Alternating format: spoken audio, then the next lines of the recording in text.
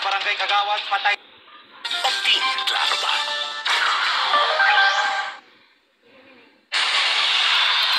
Ang mga unang balita sa mga...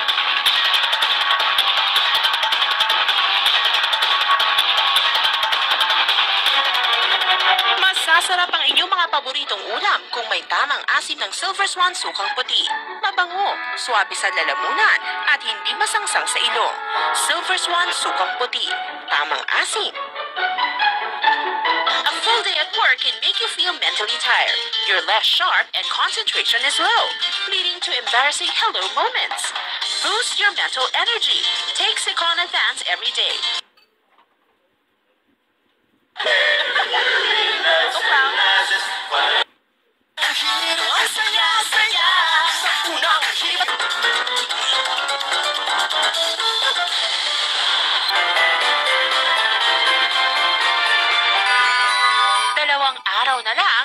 Pasko na.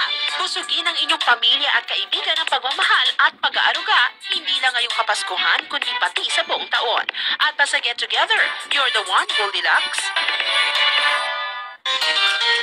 Hindi porket sikat ay masarap. Subukan at tikman ng malaman ang kaibahan. Select soy sauce. Toyo pa lang, ulam na. Saan ka pa? Manufactured and distributed by Essential Manufacturing.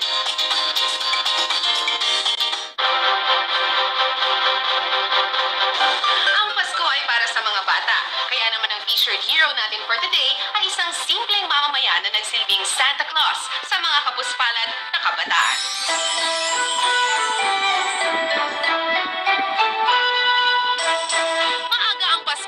Kay Mrs. Marilyn Rebadulia at sa isang libong batang nabigyan niya ng aginaldo nitong buwan ng Oktubre. Mga damit, gamot at school supplies ang aginaldong handog niya sa mga batang nasalanta ng ondoy sa kanilang lugar. Pasko man o hindi, walang pinipiling panahon itong si Merly pagdating sa pagtulong sa kapwa niya Marikenyo. Isang panata na apat na taon na niyang ginagawa. Ano po ba yung nagtulak sa inyo para tumulong kayo sa mga batang kapuspalad? yung kasi nararamdaman mo yan eh. Yung feeling na nakikita mo yung mga mga less fortunate na parang pag nakikita natin sila parang mas blessed pa pala ako sa kanila. Kahit marami akong problema pero parang nakakaangat tayo. So pag nagkakaroon ako ng extra parang siguro isi-share ko sa kanila. Eh ano naman po ang pakiramdam na kayo ay tinatawag na Santa Claus ng mga bata? Tumama ako sa loto. Parang ang saya-saya ko na hindi mo talaga ma-explain yung kasayahan na nakakatulong ka. As I've said a while ago na mas maganda yung nakakapagbigay ka kasi ikaw ang binibigyan. Ang pagtulong sa kapwa ay walang pinipiling panahon at pagkakataon. At sa iyo, Marilyn Rebadulia, who makes us realize that life can still be great despite adversity, saludo kami at ang Great Taste Coffee. Ang bahaging ito ay inihatid sa inyo ng Great Taste Granules.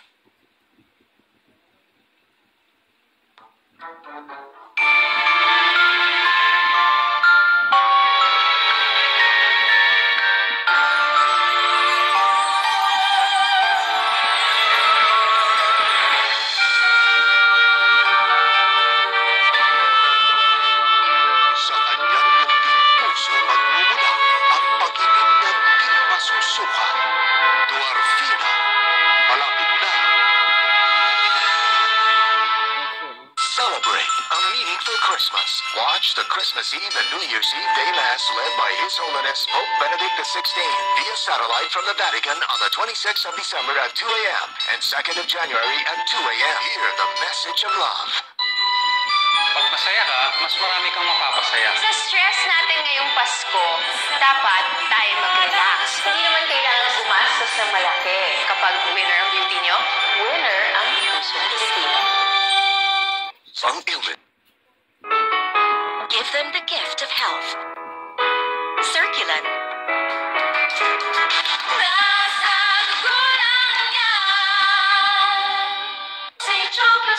Christmas is here, bring cheers to young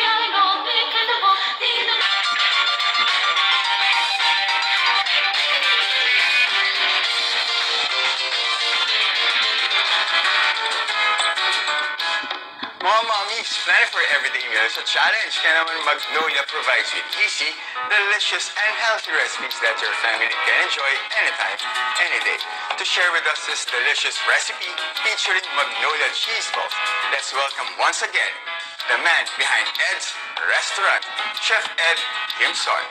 Thanks, Chef Tristan, and good morning to our unang hirit televiewers. Our recipe for today is croquetas de queso de bola, of course using the one and only Magnolia queso de bola. And our ingredients are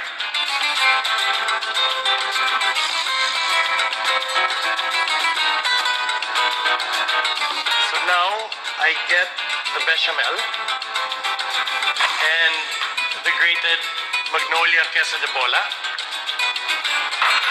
and I mix it well. You know, a Magnolia queso de bola is a must-have during Christmas.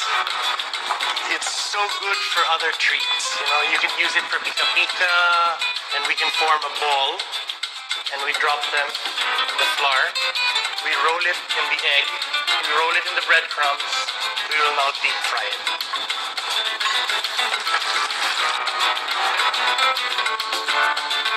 Okay, and here are our delicious croquetas with queso de bola, only brought to you by Magnolia Queso de Bola.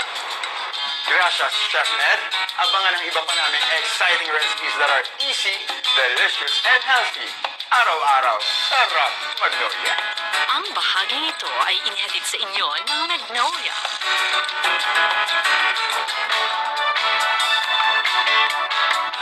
Good morning mga kapuso! I'm here at Denpix Clinic, Silver City, Pasig. At meron tayong isang mommy na sumulat about her kids' dental The mama of 5-year-old Carmel. Worried ako kasi sobrang hilig niya sa sweets. Since Christmas na, siguradong puro candy cane at ibang sweets na naman ang favorite niya. What can I do? So nako mommy, tamang-tama dahil problema ko rin yan sa aking mga anak dahil mahilig din sila sa sweets. Kaya naman kasama natin si Doc Angelo and Dr. Rafina to tell us more and give us every Christmas is really the problem kasi ang dami-daming sweets and ang dami nating parties. That's why very important ang complete and proper dental habits. Eh di ba enough na ang brushing with fluoride toothpaste? Yes, um, that's right. But aside from brushing, we need a proper diet to have stronger bones and teeth. And of course, you have to visit your dentist regularly. Naku, paano yan? Eh, kids really love sweets, di ba? Yes, but not all sweets are bad. There's actually a dental health gum that dentists actually recommend. Dental health gum. So, parang chewing gum ba ito? Doc, pakipaliwanag. Good morning, Regine. Dental health gum is different from ordinary gum. Sugar-free ito kaya healthy for the teeth. It also contains xylitol, which is a natural sweetener.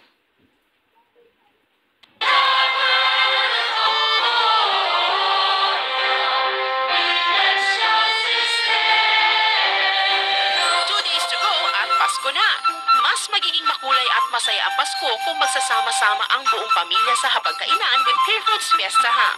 Dahil minsan lang ito sa isang taon, dapat lang espesyal at may pangalan. Pure Foods Fiesta ha, Star of the Noche Buena. Masasarap ang inyong mga paboritong ulam kung may tamang asim ng Silver Swan sukang puti. Mabango, swabe sa lalamunan, at hindi masangsang sa ilong. Silver Swan sukang puti, tamang asim. Season of giving. Wouldn't it be nice to give a gift of a great smile? So don't just eat something naughty, choose something nice. Lotus Xylitol is a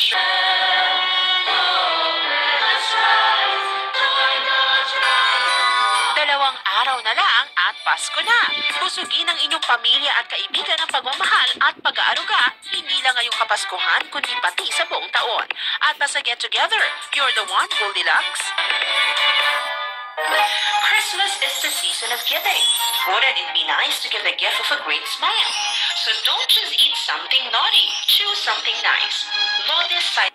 Ayos talaga ang Christmas ng pamilya dahil ayos ang salo-salo at sayawan kasama pati mga apo.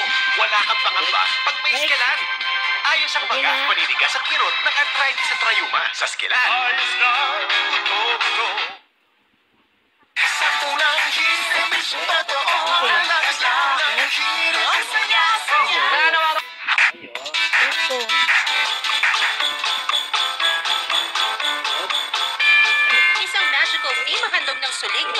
Christmas party na naganap kamakailan. Napawawang lahat sa acrobatic presentation ng kanilang main guest mula sa FEU. Truly a night to remember mula sa Jardine Distribution. E grande ang motor show ng Yamaha Fiesta. Ibinida rito ang mga bagong motorcycles para sa taong 2011 na magiging available sa lahat ng Y-Zone shops nationwide. Enjoy ang lahat sa pool party in Aquatica na handog ng DKT Philippines. Hangad ang DKT ang maipaabot ang mensahe sa kabataan ng responsible reproductive health. Enjoy ang participants ng Second Automobile Association of the Philippines sa kick-off ng caravan kung saan nag-tour sa iba't ibang parte ng Southern Luzon ang mga car owners using Petron Blaze. With its 100 octane and ultra high performance, kakaiba ang pure unleaded formulation ng Petron. Fun, games at libreng clear shampoo ang Christmas gifts na hatid ng Clear Swap Challenge. Nagdala lang ang mga maswerteng kapuso natin ng kanilang shampoo bottles at mismo ang endorser na si Jericho Rosales ang nag-swap ng kanilang shampoo for a new bottle of Clear. Ikatutuwa ng gadget and tech savvy ang bagong labas sa portable hard drives mula sa Hitachi, ang Live Studio External Hard Drive Series. Di magpapahuli ang company sa kanilang sleek design at sa capacity, mula sa 320 gigabytes hanggang 2 terabytes. Christmas is truly the perfect time for giving. Handog ng Manuel Manahan Foundation and Ortigas and Company ang ikawalong gift giving para sa mga kabataang dumaga. Nakisaya rin ang mga bata mula sa Pasig, Kamuning at ilang organisasyon sa annual activity na ito. Arnold Clavi would like to thank the following. Wade Shoes, Elmer of Somiari Salon, Dr. Raquel David of Ardere, Thailand, Dr. Cristobal C. Susie Abrera would like to thank the following. Maldita, Vogue Massage Salon, Michelle Silver Jewelry, Revlon Cosmetics, Bello Medical Group, Replay Eyewear. Rhea Santos would like to thank the following. SM Department Store.